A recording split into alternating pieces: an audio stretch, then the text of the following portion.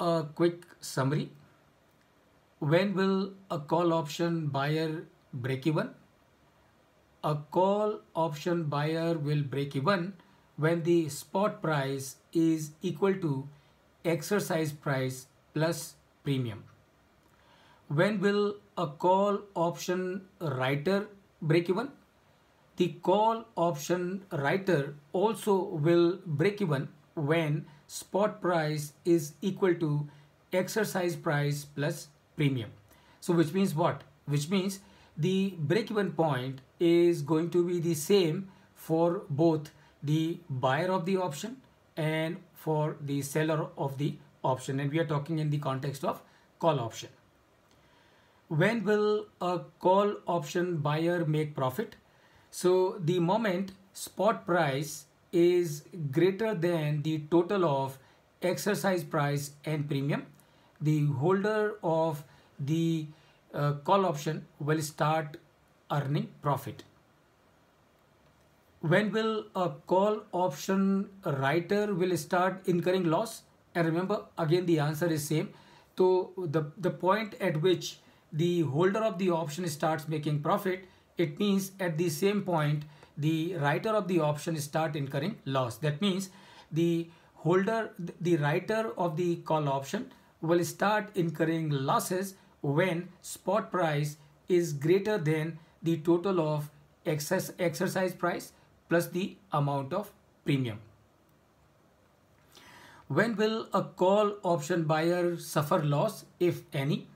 So the call option buyer will suffer a loss when the spot price is lower than the total of the exercise price plus the amount of premium. It is at that point in time he will suffer a loss. But remember, uh, his loss is going to be limited to the extent of the amount of premium that he has paid. And why? Because uh, when the when the spot price is lower than the exercise price and premium put together, uh, the option becomes out of the money. And when the option becomes out of the money, obviously the holder of the option is not going to exercise it. And likewise, when will a call option writer make profit if any? So it is again at the same point at which the holder of the option start making losses or start suffering loss. Uh, at the same point, uh, the writer of the option will start making a gain. So when the spot price is lower than the exercise price plus the premium, at that point in time, uh, even the uh, writer of the option uh, will make some gain and that gain is going to be limited to the amount of premium that he has collected.